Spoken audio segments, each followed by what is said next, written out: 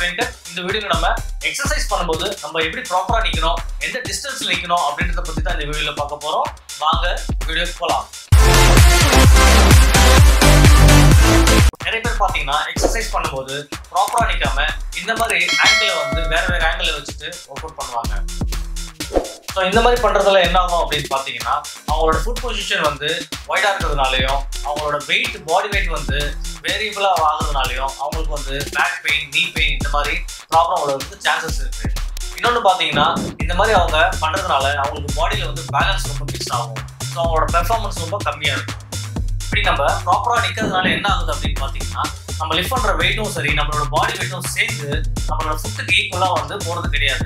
இதனால என்ன ஆகுது அப்படின்னு பார்த்தீங்கன்னா நம்மளுக்கு வந்து பேக் பெயின் நீ பெயின் வரதுக்கு அதிகமான சான்சஸ் இருக்குது அதுக்கடுத்து பார்த்தீங்கன்னா நீங்கள் இந்த மாதிரி நிற்கிறதுனால உங்களோட பர்ஃபார்மன்ஸ் வந்து ரொம்ப கம்மியாக இருக்கும்.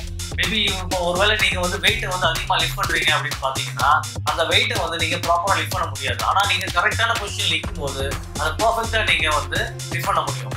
நீங்க பர்ஃபெக்டா ஈவனா நிற்கும் போது என்ன ஆகுது அப்படின்னு பாத்தீங்கன்னா நம்மளோட கிராவிட்டி வந்து ஆல்வேஸ் எப்பவுமே நைன்டி டிகிரி தான் ஒர்க் ஆகும். ஸோ அந்த பொசிஷனில் நீங்கள் நிற்கும் போது என்ன ஆகும் அப்படின்னு பார்த்தீங்கன்னா நீங்கள் கிராவிட்டியை ஃபுல்லாக யூஸ் பண்ணி அந்த வெயிட்டை வந்து ப்ராப்பராக நீங்கள் லிஃப்ட் பண்ண முடியும். ஸோ இதனால் உங்களோட பர்ஃபார்மன்ஸும் அதிகமாகும்.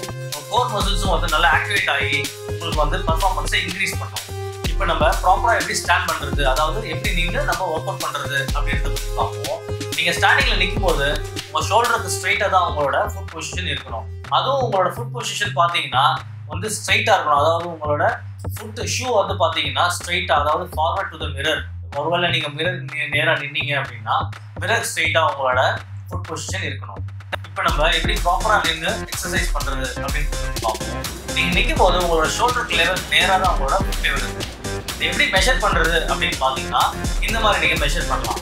நீங்கள் பண்ணும்போது உங்கள் ரெண்டு ஃபுட்டையும் வந்து க்ளோஸாக வச்சுட்டு அப்புறம் ஸ்லோவாக நீ ஷேப்பில் ஓப்பன் பண்ணிட்டு அதுக்கப்புறம் உங்களோட ஹீலை நீங்கள் பண்ணிங்கன்னா பண்ணீங்கன்னா உங்களோட ஸ்ட்ரெயிட் லெவல் அதாவது ஷோல்டருக்கு நேராக அவங்களோட ஃபுட் வந்து பர்ஃபெக்டாக வந்து நிற்கும் இந்த ஸ்டாண்டிங் பொசிஷனையும் இந்த மெஷர்மெண்ட்டையும் நீங்கள் எக்ஸசைஸில் மட்டும் தான் யூஸ் பண்ணணுமா அப்படின்னு கேட்டிங்கன்னா இல்லை. உங்களோட நார்மல் லைஃப்லையும் நீங்கள் யூஸ் பண்ணிக்கலாம். நீங்க ரொம்ப நேரம் நிக்க வேண்டிய சூழ்நிலைகள் வந்ததுன்னா இந்த மாதிரி நீ பொசிஷன்ல நிக்கிறதுனால உங்களோட நீ பெயினும் பேக் பெயினும் நீங்க அவாய்ட் பண்ணிக்கலாம்.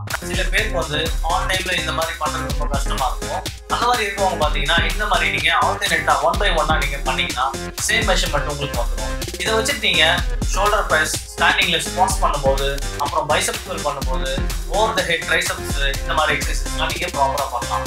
சில எக்ஸசைஸ்லாம் வந்து ஒயிட்ல பண்ற மாதிரி இருக்கும். அதாவது இப்போ நீங்க வந்து லஞ்சஸ் சிலது வந்து பாத்தீங்கன்னா ஒயிட் ஸ்பாட் இதெல்லாம் வந்து இந்த மெஷர்மெண்ட்ஸ்குள்ளே வராது.